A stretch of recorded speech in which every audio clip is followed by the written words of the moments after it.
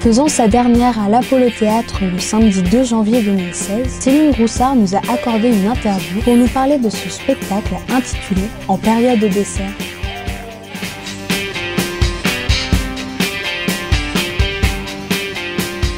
J'ai commencé à faire des, cours euh, d'art dramatique au cours Florent et, euh, très vite en fait euh, j'ai fait du théâtre contemporain. Et ce qui s'est passé, c'est que on m'a engagé pour une pièce de théâtre humoristique. C'était en 2013, je crois. Et je jouais un peu un trublion. Hein, j'étais en, rapport beaucoup avec le public, beaucoup en, en improvisation. Et plusieurs personnes sont venues me voir en me disant mais pourquoi tu n'as jamais pensé au one en fait? Ça pourrait vraiment euh, être chouette pour toi de faire ça et c'était pas du tout de mon univers et j'ai commencé à m'y intéresser à commencer à écrire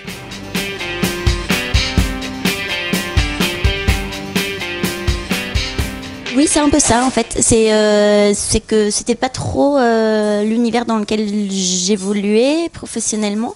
Et, euh, et c'était pas quelque chose qui m'avait plus attiré que ça. Et je sais pas comment, mais euh, je me suis intéressée d'abord au stand-up euh, américain. Et donc du coup, j'ai découvert euh, Eddie Murphy, euh, euh Louis C.K. Je sais pas comment aussi, par le biais de l'humour américain. Bah, du coup, je me suis intéressée à l'humour français aussi du coup là je me suis là, on a la chance de pouvoir se déplacer dans les salles et donc du coup j'ai commencé à regarder des euh, euh, shows et tout ça et, voilà et ça m'a beaucoup plu et du coup euh, voilà j'ai continué.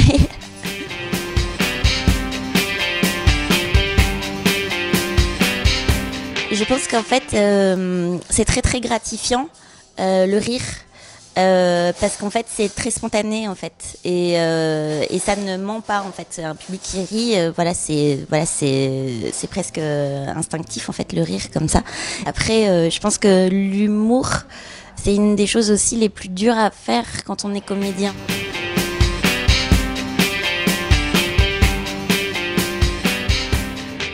la première fois que j'ai fait une scène ouverte et donc du coup que j'ai fait un sketch, déjà j'étais très étonnée que les gens rient. Donc du coup voilà, ça c'est la première premier étonnement. Et euh, deuxième étonnement, euh, c'est oui, c'est par rapport euh, à certaines phrases et certains mots que je peux dire et qui peuvent choquer certaines personnes et je pas du tout écrit ce texte pour du, tout, du tout choquer. Et effectivement, euh, je m'aperçois que des choses qui, moi, me paraissent de l'ordre de l'intime et des choses qui peuvent se passer à l'adolescence ou des choses comme ça, peuvent euh, euh, choquer certaines personnes. Ce sont des mots, mais comme ça touche vraiment l'intime, je pense que les gens, ils n'ont pas l'habitude, en fait. Et du coup, ça peut les choquer. Et, et voilà. Et donc, du coup, pour moi, c'est surprenant, en fait.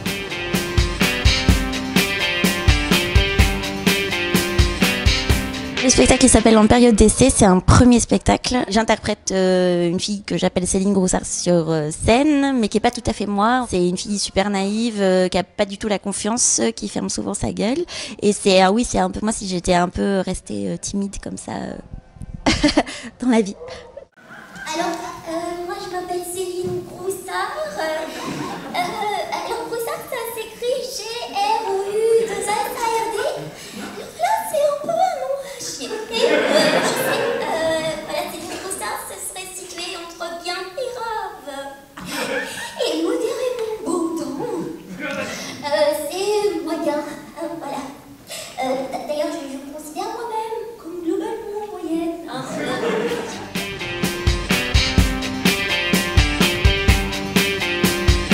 J'avais beaucoup envie de, de parler de l'intime dans le, dans le spectacle.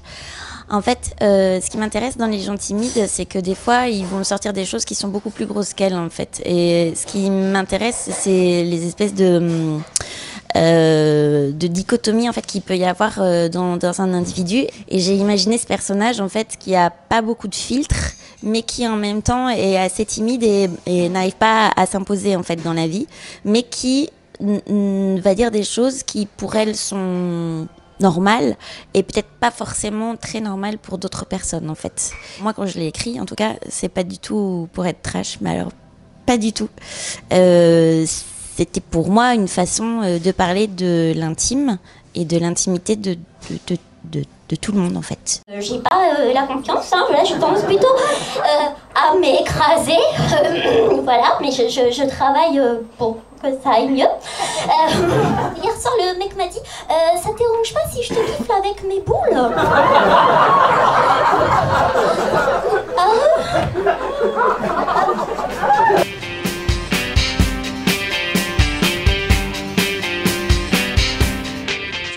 Pas paradoxal que ça parce que je pense qu'il y a euh, des très grands comédiens qui sont très très très très timides. Euh, Enfin, je ne saurais pas en donner mille exemples, mais je sais pertinemment que Louis de Funès était quelqu'un de très euh, effacé dans la vie et paradoxalement devant une caméra pas du tout. Moi, quand j'étais enfant et adolescente, en fait, j'étais extrêmement timide. Je pense que je pouvais pas répondre au téléphone, je pouvais pas aller acheter une baguette de pain dans la rue. Enfin, je- enfin voilà, c'était assez poussé en fait comme timidité. Et euh, j'ai fait du théâtre et ça m'a permis euh, d'expérimenter sur scène des choses que je me permettais pas de faire dans la vie. Et du coup, à dépasser cette forme de timidité là en expérimentant pour de faux et après se dire bah si je peux le faire pour de faux sur scène ben il y a des grandes chances que je puisse le faire pour de vrai.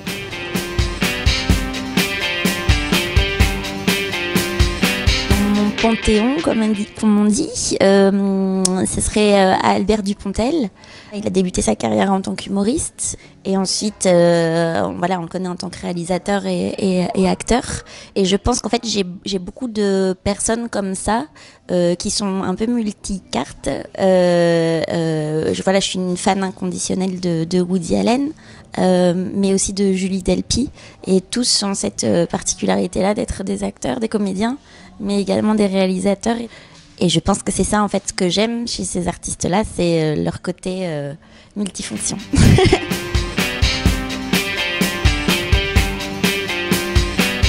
Ah oui, euh, ouais, ouais, j'ai- un deuxième court métrage qui est en écriture. oui, oui, bien sûr. Tout autant que je viens du théâtre et hum, que j'ai joué voilà dans des compagnies de théâtre et tout ça, je pense que voilà, ce sont des choses qui feront partie de ma vie euh, tout le temps en fait. Et je pense que plus un artiste touche à des choses et plus euh, il s'enrichit. Et, je pense que c'est important en fait effectivement. euh, bah, si on a envie, d'être comédien, d'être comédien. Mais voilà, il y a le théâtre, il y a le cinéma, il y a il y a humoriste, humoriste dans l'humour, il y a plein plein de formes d'humour et je trouve que c'est ça qui est aussi très intéressant.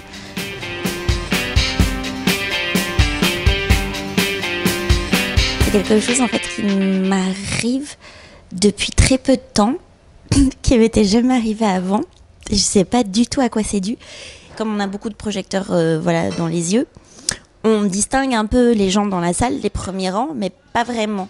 Et en fait, ce qui m'arrive depuis quelques temps et qui ne m'était jamais arrivé, c'est que je suis persuadée qu'il y a certaines personnes que je connais dans la salle et quand la salle se rallume ou quand je raccompagne les spectateurs euh, à l'extérieur du théâtre, je m'aperçois que la personne mais vraiment dont j'étais persuadée que ce serait euh, un tel ou un tel, n'est pas du tout, du tout cette personne-là. J'ai eu l'occasion d'en parler avec plusieurs euh, personnes en fait qui sont dans le même théâtre que moi, et il se trouve que je suis pas du tout la seule à avoir ça. Je suis très soulagée, mais c'est très étonnant en fait. C'est vraiment une vraie, euh, comme une hallucination en fait, et de voir quelqu'un et d'être persuadée que c'est lui, pas du tout en fait. Voilà.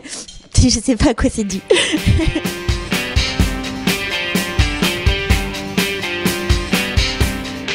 Du coup, on peut me retrouver à l'Apollo Théâtre, mais là, il y a plus beaucoup de dates. En fait, c'est jusqu'au 2 janvier. Et ensuite, il va y avoir une petite pause. euh, parce que je vais beaucoup ré- réécrire le texte, j'ai envie d'une petite pause de création. Euh, et donc après, euh, faudra me retrouver sur les réseaux sociaux. Et euh, parce qu'en fait, je vais travailler sur plusieurs projets et je vous invite du coup à venir euh, sur ma page Facebook ou euh, sur mon site internet célinegroussard.com pour retrouver un petit peu les nouvelles aventures en 2016 de Céline Groussard.